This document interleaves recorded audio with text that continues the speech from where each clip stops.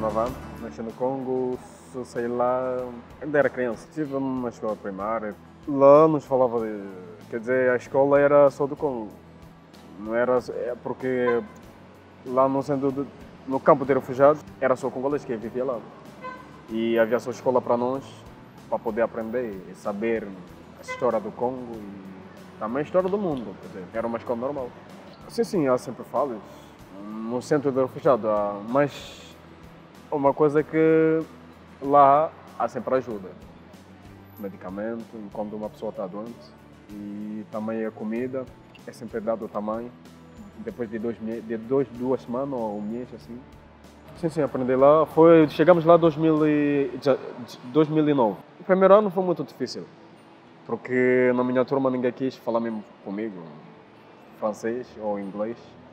Depois eu próprio comecei a pensar em mim o que é que eu posso fazer para melhorar.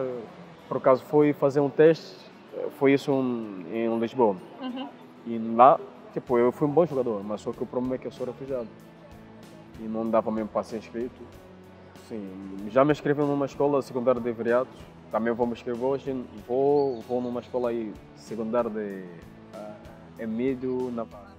Uhum, vou lá me inscrever de novo para ver qual é delas, dessas que vão me ligar o mais cedo possível para poder arrancar no curso.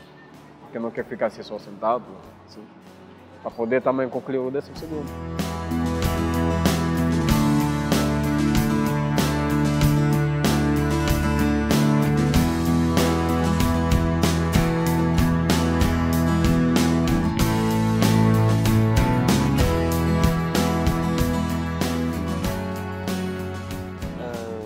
a coisa de uma guerra política e o meu país não estava bem e eu tentava fugir também. Morreu, o meu pai morreu em 1997, que eu não conheço bem. Eh, a minha mãe morreu em 2003. Sou da etnia Fula. Tenho lá quatro diferentes. Estava a estudar e às vezes encontro trabalho com os amigos. Já tirei o curso de português e eh, no início, quando estivesse cá, caso eu estive aqui, desculpa, eh, fui, fui frequentar a escola normal e, e depois fui tirar esse curso de seis meses e depois eh, fui fazer uma entrevista para um trabalho, eh, um trabalho de telecomunicação. Aqui a trabalhar, fazer, é, é, preparar a minha vida e procurar uma vida para mim.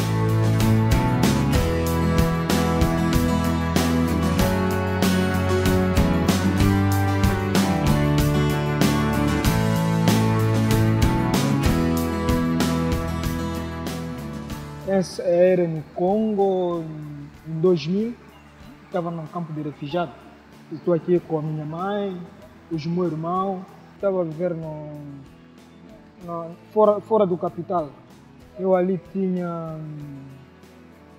mais ou menos sete. Ali não estava a estudar no Congo, só estava a estudar no, no campo de refugiados. O, o meu pai era, era professor. Não, ali pode dizer a vida dali não, não é fácil a vida ali é muito difícil. Também água, água também é difícil. Também até o comida também, também é muito difícil. Não é fácil viver lá. Quero, também quero continuar a estudar um curso de mecânica.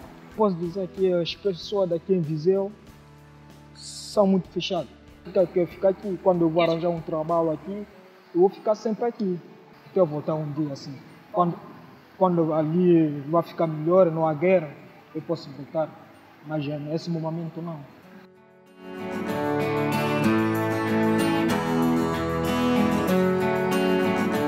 Eu saí da Síria há quase 30 anos, ou mais.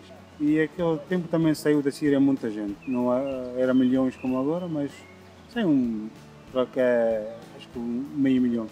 Era um uh, regime da ditadura já há 40 anos.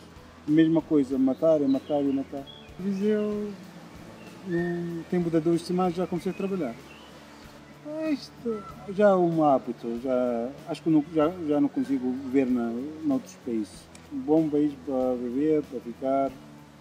A cidade também é muito bonita, muito limpa, eu gosto de cidade calma. Era amiga da minha irmã, e então fui falar com ela por internet, e assim pediu os estados elogiados Ele já recebiu, graças a Deus. Já tem residência de três anos, refugiado. É o mais importante agora acabar o curso de português. Quando vai começar a falar português, vai conseguir entrar no contato com gente, conseguir sair.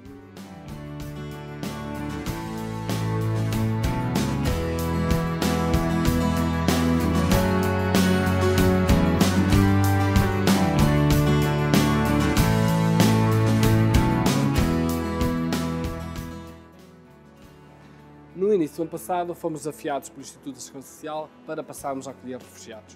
O Estado português, no âmbito dos acordos internacionais, está obrigado a receber refugiados, pessoas que adquirem o estatuto de refugiados, seja por convicções políticas, seja por convicções religiosas, e até ao momento eram apenas acolhidos eh, no Distrito de Lisboa, pelo Centro Cital de Lisboa.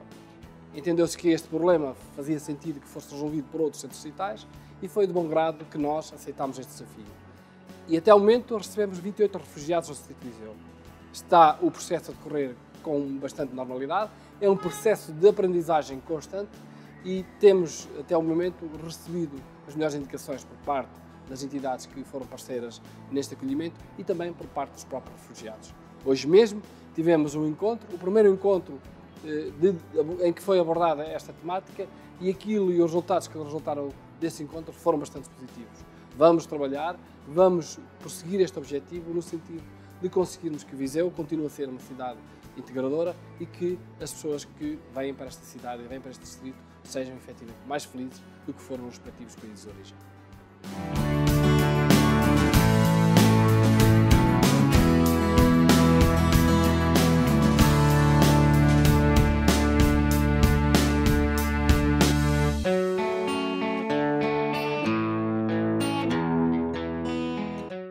A cidade de Viseu não podia deixar de se associar a este Dia Internacional dos do Refugiados.